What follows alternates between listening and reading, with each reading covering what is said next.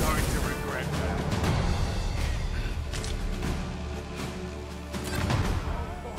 Ord fell from the beast as it breathed.